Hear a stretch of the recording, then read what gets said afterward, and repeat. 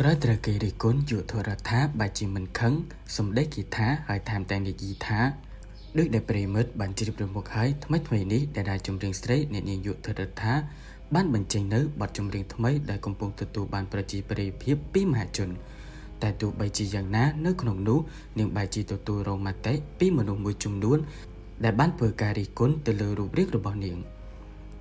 មិនយូរប៉ុន្មានតារាចម្រៀងស្រីអ្នកនាងយុទ្ធរដ្ឋា ស្រាប់តែបានលើកឡើងពីអារម្មណ៍របស់ខ្លួននៅលើបណ្ដាញសង្គមដោយបានប្រាប់ថានាងមិនបានខឹងអ្វីនោះឡើយដោយគ្រាន់តែសូមកុំប្រើពាក្យសម្ដីបែបនេះទៅលើរូបរាងខណៈក្នុងនោះបានរៀបរាប់យ៉ាងដូចនេះថា សម្រាប់ខ្ញុំមិនខឹងនឹងគេថា យើងមិនស្អាតកម៉ាប់ដូចជ្រូកអីទេព្រោះយើងវាម៉ាប់ពិតមែន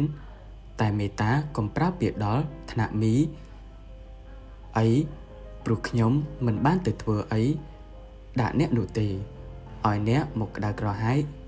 រឿងអីដែរឌីលខ្ញុំសតែមីកាជ្រូកចុះមីកាជ្រូកខ្ញុំនឹងបានធ្វើអីដាក់អ្នកឯងដែរបានឌីលខ្ញុំអីក៏សាហាវយ៉ាងនេះលោកអើយហើយពេលនិយាយអ្វីទៅកាន់នរណាម្នាក់គួរតែរៀនយកចិត្តរបស់គេមកដាក់ចិត្តខ្លួនឯងខ្លះផងខ្ញុំមិនខឹងអ្នកចង់ឲ្យខ្ញុំល្អ បាននិយាយតែនេះមិនមែនចង់ឲ្យល្អទេ គឺឈ្នានេះច្រើនជាង តែគ្រាន់តែខ្ញុំទៅចិត្តថាខ្ញុំបានធ្វើអីដាក់អ្នកឯងយ៉ាងណាមិញក្រោយពីបានបង្ហាញអារម្មណ៍បែបនេះហើយក៏មាន fan fan ជាច្រើនព្រមទាំងមិត្តមិត្តបានចូលមកលើកទឹកចិត្តមិនអោយនាងគិតច្រើននិងខ្វល់ខ្វាយទៅលើសម្ដីទាំងនោះព្រមទាំងបានគ្រប់គ្រងនៅមតិដែលនាងសំណុំពោខាងលើផងដែរ